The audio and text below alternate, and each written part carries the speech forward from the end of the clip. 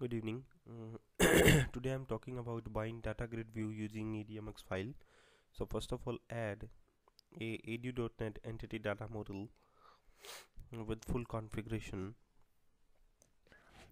Um, so in this video select the EF designer database choose um, your data connections with the SQL connection with the SQL server so press new connection button Microsoft SQL Server. Yeah type the name of your server that is uh, my name is Jacob. It's uh, also my server name. Select the database that is banking system. Test connection successfully that is okay.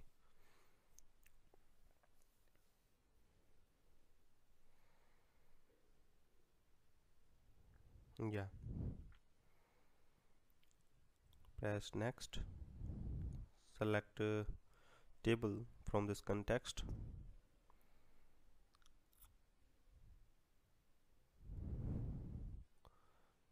You can select all uh, tables. But I select user account only because in this tutorial I need only user account table to bind the data grid view using EDMX file.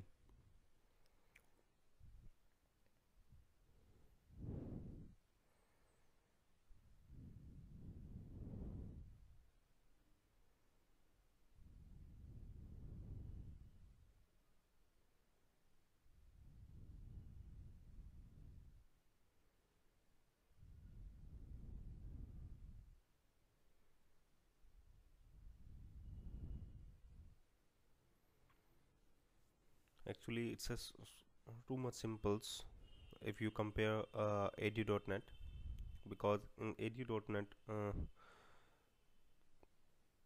lots of code necessary for writing. But in EDMX model we have two classes that is model class and the second one is the context class through the context class we can communicate with the table and the database.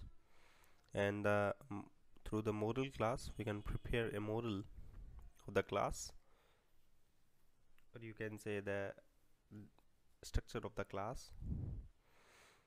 So drag a grid view control that is data grid view on the form.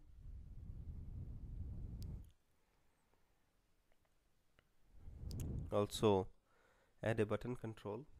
You can also add you can also bind uh, this data grid view when first time the page is load so after the uh, initialize component you can declare a method. Uh, in this on this method we can uh, bind the data grid view with the same code. So first of all check the model class uh, that is user account.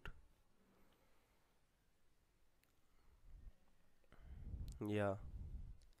Public partial class user account. And the second class that is model 1 dot context class.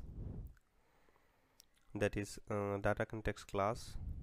By the uh, by using this public property we can communicate. That is public property is user accounts this is the public property. By using this public property we can communicate with the table.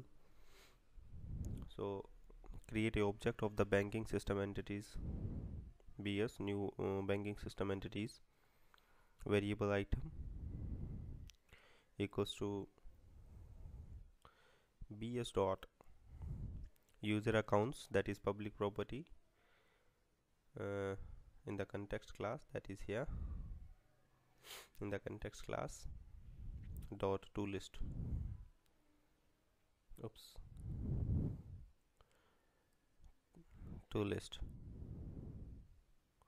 That's fine. Thank you. Thank you very much for watching this video tutorial. Please keep watching my all video tutorials to bind the data grid view and many more things about uh, windows form. So thank you. Thank you very much. Please keep watching my all video tutorials. Let's check your output